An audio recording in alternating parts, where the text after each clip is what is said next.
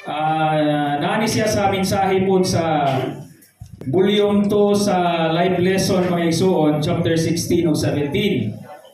Uh, gipakita ba din he, nga kini di ay tigom sa pagtipik sa tinapay, dako kini nga butang mga igsoon. Uh, sa mensahe ba na kuan kay ko ni action huot na kung kay daghan yun makita nato sa atong kahimtang mga igsoon kung ato yung dalhon sa prinsipyo, may tungod sa pagtipik sa tinapay, pakyas kita mga iso. Dahil ko na ginoo. Unya, klaro kayo, ipakita din mga isuon sa Acts chapter 20 verse 7, ang uh, una day we gathered together aron sa pagtipik sa tinapay. Dahil ko na ginoo. Ang sunod nga bersikulo, ang unang Korinto 11:20, Ningon siya that you come together to eat the Lord's Supper. Praise the Lord. Unya ang ikatulong nga bersikulo nga isuon sa 1 Corinthians chapter 10 verse 21, you partake the table of the Lord. Unya gikuan ni gi-emphasize siya diri mga igsuon, unsa gyud ang bread breaking meeting. The bread breaking meeting is not for anything other than remembering the Lord with the remembrance of the Lord's at, uh, as its center for the Lord's enjoyment. Everything in this meeting, whether hymn singing, prayer, Bible reading, or words of inspiration, should take the Lord as the center. Sa ato pa mga isuon, ang tigom sa pagtipik sa tinapay, ang sentro mao ang atong Ginoo. Ikaduha mga isuon, ang bread breaking meeting Ningon siya, breaking of the bread is to eat uh, is to eat the Lord's Supper and to attend the Lord's table. Eating the Lord's Supper is for us to remember the Lord.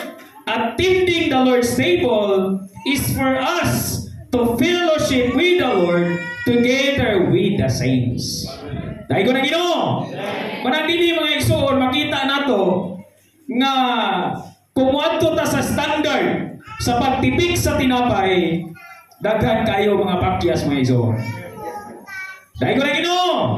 Kunya, dako kayo nga kani mango nga tigom sa pagtipik sa tinapay mga igsoon. Dako kayo ning kalabutan sa pagdugtong nato o pagpahimulos nato sa Ginoo. Ningon siya dinhi, kung gusto daw ang atong pakigambitay sa atong Ginoo, mahusto sa ang atong pag-ambit ninintigong sa pagtipid sa tinapay. Manang una, ipakita din mga igsoon, doon na ni si upat kabutang din eh, amin una, kikinahanglan, maghandom ta sa ginoo, maudi ay ang pag-ambit nato kaniya. Dahil ko na ginoo, managingon niya din na, ang talad sa ginoo, usang katalad, nga ang ginoo mismo, nga kumbira, nga naa sa talad. Niya sa taliwala sa tong tigo mga igsoon, Mingon ganit ang kumpira, malipayo na mga iso. Dahil ko na ino. Mingon ganit ang kumpira, dili na siya gamay nga butang mga iso. Nagpasabot na nga, nakapahimulos jud ka ni anang kumpiraha mga iso. Dahil ko na ino, ikaduha, gingon niya din na, pag-andam sa atong kaugalingon, pinaagi sa pagbansay sa atong espiritu. Sa atong pagumuadto nita sa panagkatigo mga igsoon, kinahanglan nahashasan na ta. Dahil ko ginoo. Gani diha sa tigo mga igsoon sa pagsugod. Doon na ginunta tayo kalipay mga igsoon. Magmaya o magday ginunta ta sa atong ginoo.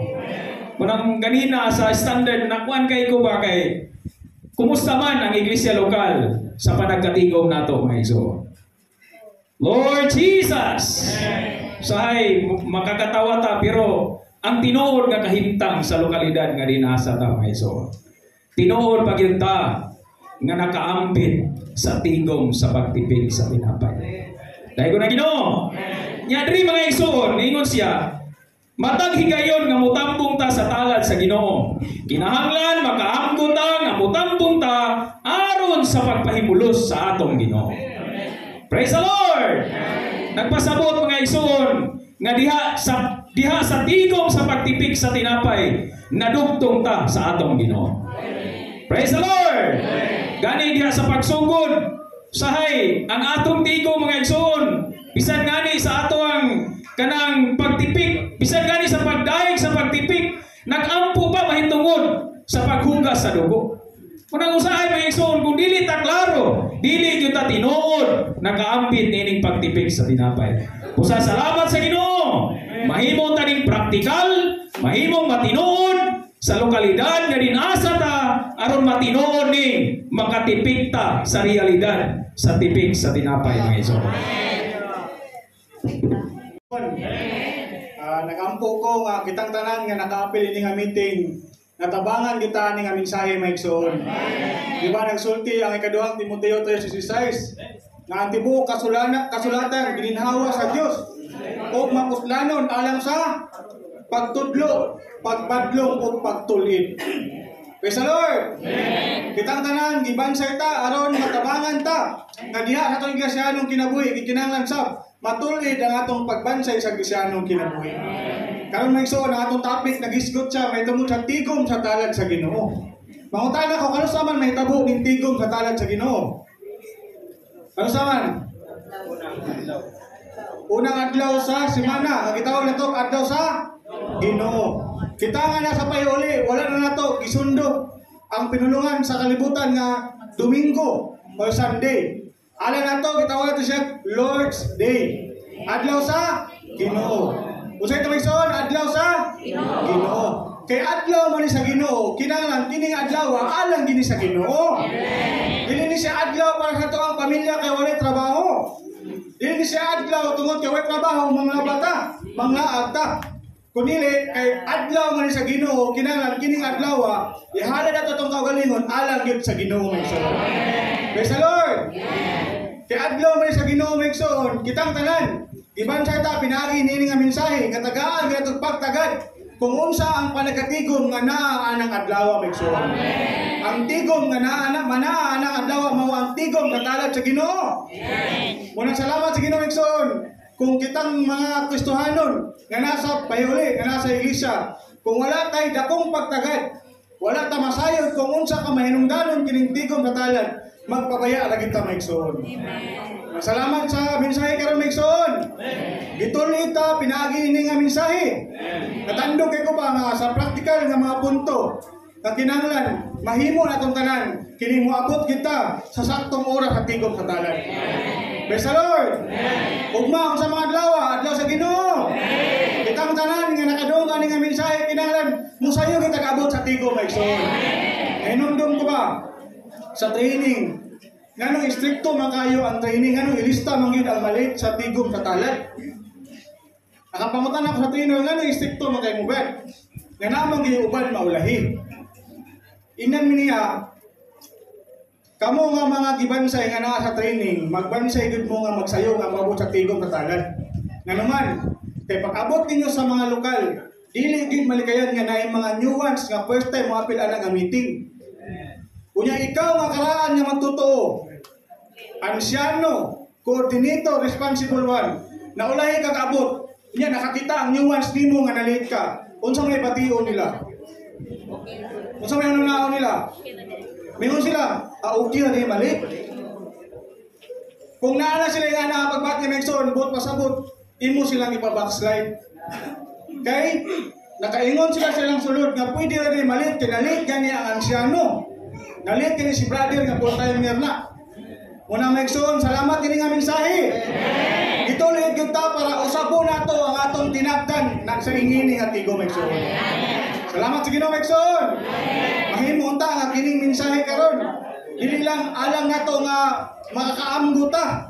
Kundi dalon ginato sa praktikal nga pagbansay Megson. Nang ilhan ilhanan ilhan kayo ba kanang malit sa tigong kay Pag-ampo na ganyan sa apamahan, nag-ampo pagyapon sa ngalan sa Ginoong Hesus. Unang salamat sa Ginoong Ekson. Dako kay tabang ang kini nga mensahe ala natong karan karon Ekson. Mahina unta ugma masugda nato ni Bansay Ekson. Dito sa atong mga lokal magsayo kita ang kitang tanan makaparticipate nini nga tigom. Katando kay ko ba ningon ni Badili pag abot sa Lord's Table meeting wala na ang sanuhay anak. Nganuman kay kini nga tigom ala nato ning tanan. Kitang tanan maghandom ta sa atong Ginoo. Kay gibayaran ang atong utang mga igsoon. So dili lang paigo nga mga ansyano lang ang mga tagughin, mga ansyano lang ang mga ampo mga igsoon. Kundi kitang tanan mga igsoon. Kay kitang tanan ang ato ang mga utang kitang tanan gibayaran sa atong Ginoo mga igsoon. Ang salamat sa Ginoo masugod gid unta ugma. Kitang tanan makahatag tag pagampo, makahalad tag mga pagdaig, makahalad tag mga pag-awit. Alam ini nga tigo mga igsoon.